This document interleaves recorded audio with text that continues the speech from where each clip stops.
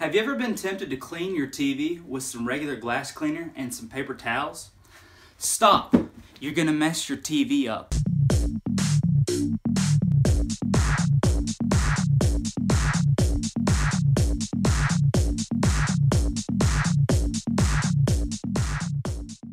Today's video is all about cleaning your flat screen television. It's very common to find dust, fingerprints, especially if you have kids, and even dried saliva on the television screen from outbursts of emotional excitement and outbursts of emotional disdain. Oh, come on! How you clean your television is going to depend on the degree of dirtiness. But no matter how dirty the television gets, we will always use a microfiber cloth.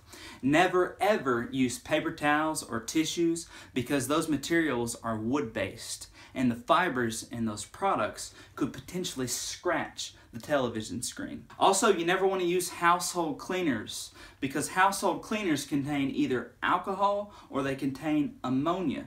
Both of those two products will dry out the screen and eventually over time scratch and crack it. So let's get started. So let's talk about the level one cleaning. Your TV may not have fingerprints, it may not have dried saliva on it. If that's the case, it may just need a good dusting. And if it needs a good dusting, grab your microfiber cloth, make sure it's dry, and just start wiping it off and dusting it. Work your way from top to bottom, wiping off all the dust particles.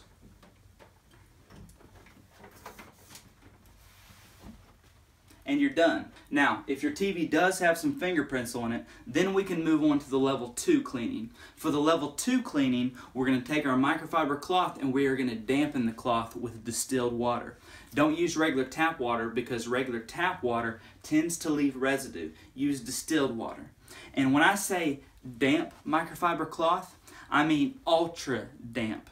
You shouldn't be able to wring this cloth and water start dripping. Make sure it's ultra damp. From that point, what you're going to do is you're going to come to where the fingerprints are at. And you can use a circular motion and just wipe away those fingerprints. Don't press too hard though. You don't want to distort any of the pixels.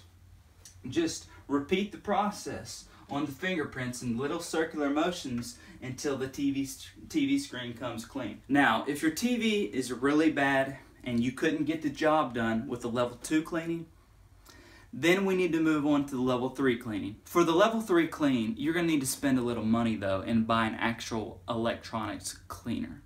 There are a slew of them out there. We use this one right here. This is Windex Electronics Cleaner.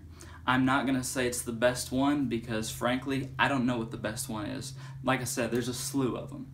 But any electronics cleaner should do for the level 3 clean. Real quick, before we get started, what makes an electronics cleaner an electronics cleaner is that they don't contain ammonia or alcohol like regular cleaners. See, regular cleaners like Dawn contain alcohol in them. Windex contains ammonia. Now, do people still use these products to clean their television screens? Absolutely. Does it get the job done? Absolutely.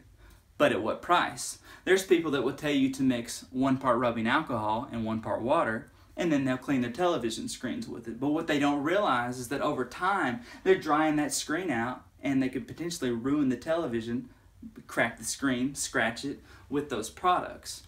People spend thousands of dollars on these flat screens, so it's important that you get this right. If you find an electronics cleaner, an electronics cleaner that's got ammonia or alcohol in it, Run away from it like a wild beast is chasing you.